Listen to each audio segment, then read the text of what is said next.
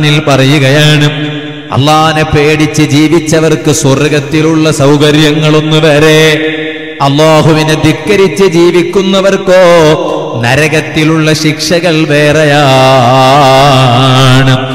അപ്പൊ ഈമാനുള്ള ജനങ്ങൾ എപ്പോഴും ചിന്തിക്കേണ്ടത് ആ സ്വർഗം നേടിയെടുക്കൽ എങ്ങനെയാണ് എന്നാണ്.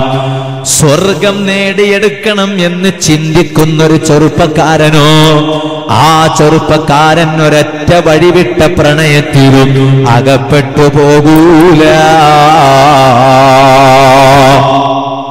ഞാൻ എന്തിനാണ് ഇത് പറയാനുള്ള കാരണം? എന്റെ ഈമാനുള്ള ചെറുപ്പക്കാരും യുവാക്കളും യുവതികളും വളരെ ഗൗരവത്തിൽ മനസ്സിലാക്കേണ്ട ഒരു കാര്യമുണ്ട് കേട്ടോ. അതെന്താണ്? സുബാനല്ലാ ഇന്ന് മൊബൈൽ ഉപയോഗം വളരെ വ്യാപിച്ചിട്ടുള്ള കാലമാണ്. ചില സ്ത്രീകൾക്കൊരു സ്വഭാവമുണ്ട്. സ്വന്തം ഭർത്താക്കന്മാരുടെ ഫോട്ടോ വാട്സപ്പിന്റെ പ്രൊഫൈൽ പിക്ചറായി വെക്കുന്നൊരു സ്വഭാവം. ഓ ഉമ്മമാരെ അതുകൊണ്ട് നിങ്ങളുടെ ഭർത്താക്കന്മാരോട് നിങ്ങൾക്ക് വലിയ സ്നേഹമാണെന്ന് വരൂല. നിങ്ങളുടെ ഭർത്താക്കന്മാരോട് നിങ്ങൾക്ക് വലിയ സ്നേഹമാണെങ്കിൽ നിങ്ങളുടെ വാട്സപ്പിന്റെ പ്രൊഫൈൽ പിക്ചർ നിങ്ങളെ ഭർത്താക്കന്മാരത് കാണരുത്. എന്തേ കാരണം? നിങ്ങളുടെ ഭർത്താവിന്റെ ഫോട്ടോ നിങ്ങളിലേക്ക് മെസ്സേജ് അയക്കുന്ന വേറെ ഒരു സഹോദരി അവൾ ഇങ്ങനെ നോക്കുകയാണ്. അപ്പൊ നിങ്ങളുടെ ഭർത്താവിനെ നോക്കി വേറെ ഒരു പെണ്ണ് നോക്കി രസിക്കുന്നത് നിങ്ങൾക്ക് ഇഷ്ടമാണോ ഒരു നല്ല ഭാര്യയാണെങ്കിൽ അത് ഇഷ്ടപ്പെടൂല. ഞാനിതൊരു ചെറിയ ഉദാഹരണമാണ് പറഞ്ഞത്. അതുപോലെ തന്നെ സുബാനല്ല നല്ല ഈമാനുള്ള ഉമ്മമാരുണ്ട്. അവരുടെ വാട്സപ്പിന്റെ സ്റ്റേറ്റസിലൊക്കെ നല്ല വയലുകളാണ്. എന്തേ കാരണം? ആ സ്റ്റേറ്റസ് ഒന്ന് തുറന്നു നോക്കിയാൽ അതാ നോക്കുന്ന ആളുകൾക്ക് നല്ല വാൽ കേൾക്കാൻ കഴിയൂ. അതിൽ വല്ല അറിവുകളുണ്ടെങ്കിൽ അത് പഠിക്കാൻ കഴിയൂ. അത് ജീവിതത്തിൽ പകർത്താൻ പറ്റിയതാണെങ്കിൽ പകർത്താനും പറ്റും. അതുകൊണ്ട് കേട്ടവനും നന്നായി പകർത്തിയവനും നന്നായി സ്റ്റേറ്റസായി വെച്ചവളും നന്നായി. അത് നല്ല അടയാളമാണ്. അതേ സമയത്ത് വേറെ ചില സ്ത്രീകളുണ്ട്. ആ സ്ത്രീകളുടെ സ്റ്റേറ്റസിൽ കാണുന്നതോ ഹറാമായ സിനിമയുടെ വീഡിയോ ക്ലിപ്പുകളാണ്.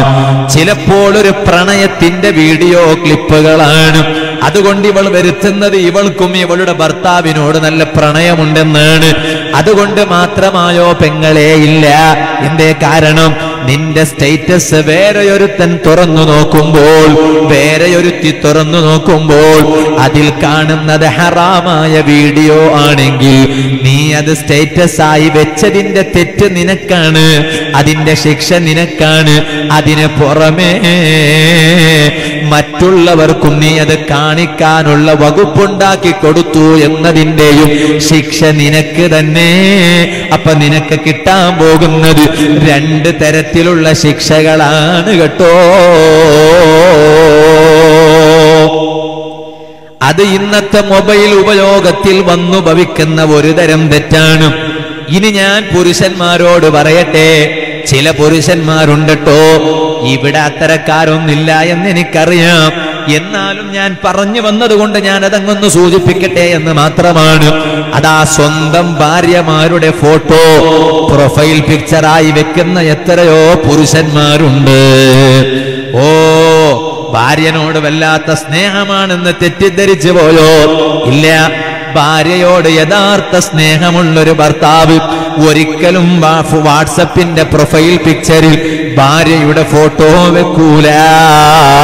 എന്തേ കാരണം? ആ ഫോട്ടോ മറ്റുള്ളവർക്ക് കാണാനുള്ള വകുപ്പുണ്ടാക്കുകയാണ്. വിവാഹ പ്രായമെത്തിയ പെൺകുട്ടികളുടെ ഫോട്ടോ വെക്കുന്ന ബാപ്പമാരുണ്ട്. അതൊന്നും നല്ലതല്ല കേട്ടോ. ഇനി ഞാനൊന്നും കൂടി പറയട്ടെ. ഓ ചെറുപ്പക്കാരെ വാട്സപ്പിലൂടെ അന്യ പെൺകുട്ടികളോട് നീ ചാറ്റിംഗ് നടത്താൻ പാടില്ല. ഓ സഹോദരിമാരെ വാട്സപ്പിലൂടെ അന്യ ചെറുപ്പക്കാരോട് നിങ്ങൾ ചാറ്റിംഗ് നടത്താൻ പാടില്ല. അത് വലിയ തെറ്റാണ്. ഉസ്താദെ ഞാൻ പ്രണയിക്കുകയാണ്. പ്രണയം കല്യാണത്തിന് ശേഷമാകട്ടെ. കല്യാണത്തിന് മുമ്പൊരു പ്രണയം വേണ്ട. അത് ഇസ്ലാം അംഗീകരിക്കുന്ന പ്രണയമല്ല.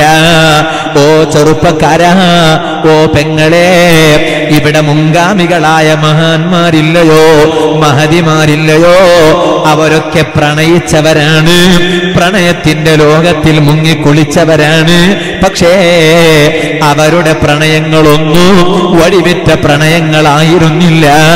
അല്ല പൊരുത്തപ്പെട്ട പ്രണയങ്ങളാണിരുന്നു. എന്റെ കാരണം?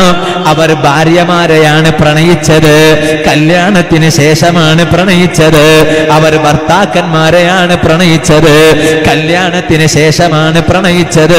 അതുകൊണ്ട് ആ മഹാന്മാരുടെ വഴിയിൽ ശ്രീ അതാ കയറി ചെല്ലണം കേട്ടോ.